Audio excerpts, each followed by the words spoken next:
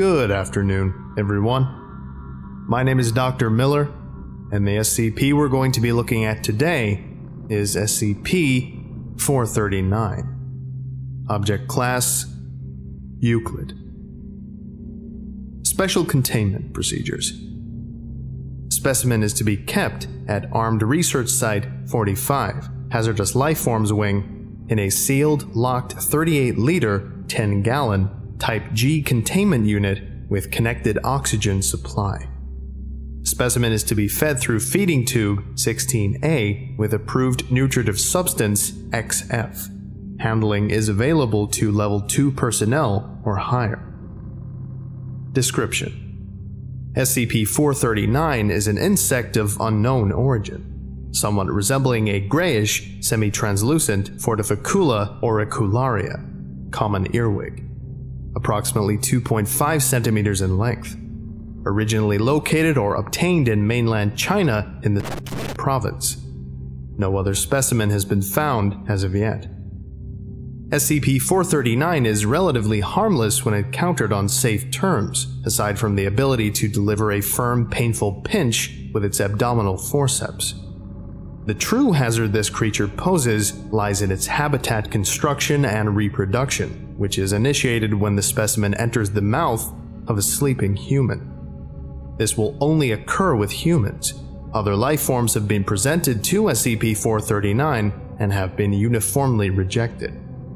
Upon location of a suitable host, the specimen will hide itself in the immediate vicinity and wait until the victim has fallen asleep. How it is able to determine the state of sleep is unknown, but it has shown to be accurate in times out of Upon entering the mouth of the new host, SCP-439 will travel down the trachea and take up residence in one of the victim's lungs. In approximately 4 to 8 hours after awakening, the host will complain of chest pains and shortness of breath, followed shortly by abdominal cramping. The tightness in the chest will increase, as well as a fever until the host is incapacitated. It is around this time that the onset of fibrodysplasia ossificans progressiva, FOP, occurs, a disorder that is normally genetic in nature that promotes growth of bone into muscle tissue. Since the production of new bone growth is so rapid, the procedure is also quite painful for the subject, with new bone spurs occasionally protruding through the flesh. While this is happening, the host will become compelled to seek shelter in a darkened enclosed space, such as inside household cabinetry, closets, or heating ductwork.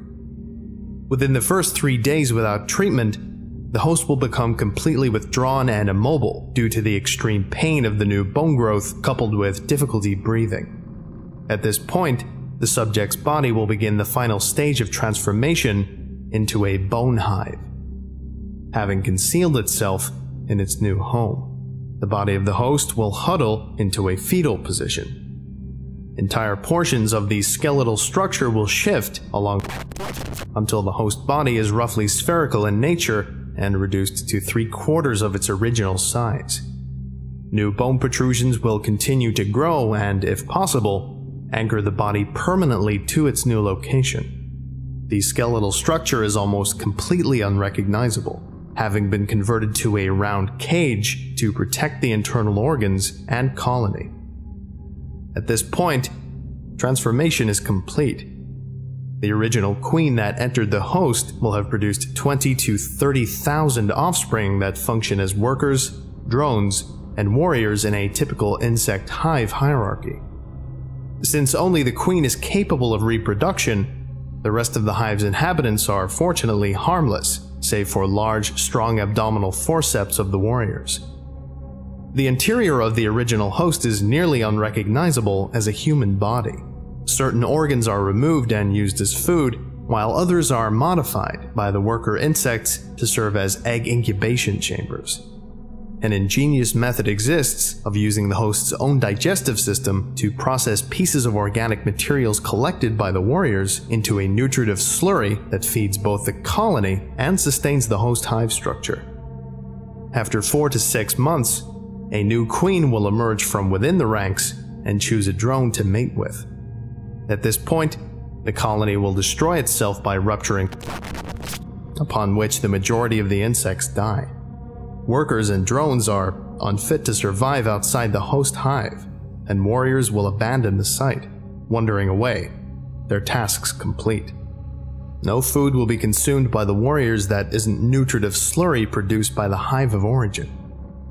The new queen will venture out, fertilized, to search for her own new hive. Incredibly, the trauma of evacuation is not what finally causes biological activity to cease in the hive, but starvation. Addendum In an experiment, Dr. performed a range of tests to determine the extent of damage to the host body after it has finished transformation into a hive. While it had been previously discovered in autopsy that portions of the brain are hollowed out to serve as food, others are left intact, presumably to regulate what bodily functions continue. During the last round of experimentation, took the opportunity to examine a hive at close range shortly after the transformation. While the eyes are eventually reached and used as a food source, at the point performed her examination, they were still intact. Opening the eyelids and examining with a flashlight, something discovered that the host's eyes followed the beam. Experimentation was terminated, and no further testing is scheduled. Okay, I think I speak for everyone here. I don't really want to know if that person is alive.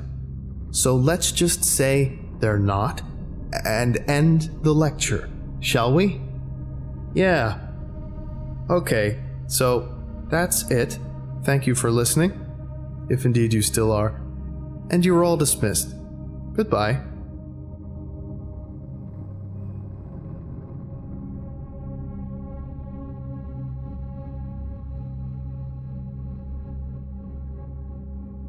I would like to give a special thank you to The Reclusive Extrovert, James Saba, Chris Ball, Pablo Ice 917, Caleb Chaffins, Kareem El Ashmawi, Justin Day, Brockery Man, Thomas Morin, Curie Coma, White Crew, NJ Vojak, Crystal Spice, my archive curator Nick, King Madding, and The Wanderer. Thank you all so much for your support. It's greatly appreciated.